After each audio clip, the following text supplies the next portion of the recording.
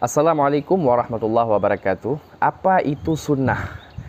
Oke, sunnah itu ada terbagi dua.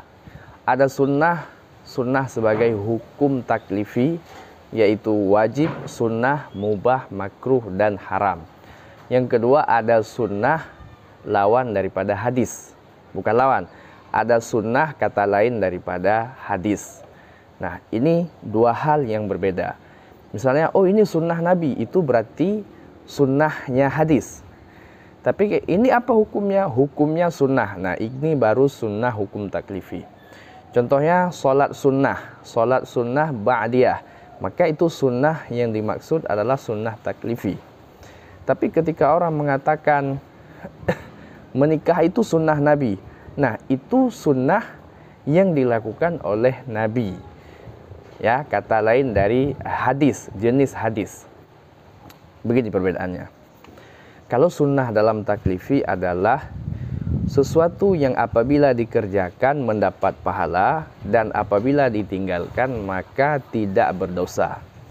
Sekali lagi sesuatu yang apabila dikerjakan mendapat pahala dan apabila ditinggalkan tidak berdosa. Itu sunnah dalam hukum taklifi atau dalam fikih yang kedua adalah sunnah jenis hadis. Nah, orang kadang-kadang bilang hadis, kadang-kadang bilang sunnah. Kalau menurut sebagian pakar ada sedikit perbedaan.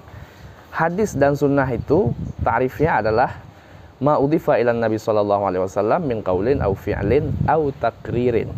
Sesuatu yang disandarkan kepada Rasulullah baik itu perkataan, baik itu perbuatan, baik itu diamnya Nabi pada sebuah hal itu menjadi hadis maupun sunnah.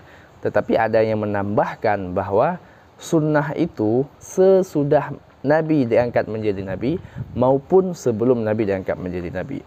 Tetapi kalau hadis itu khusus yang sesudah Nabi menjadi Nabi saja.